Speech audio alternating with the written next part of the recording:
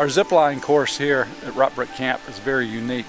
It actually is built on the mountainside using natural features. And so the campers actually travel through the forest on the mountainside. They travel in front of waterfalls and through rhododendron thickets and uh, over ravines. The final zip is actually across the middle of camp.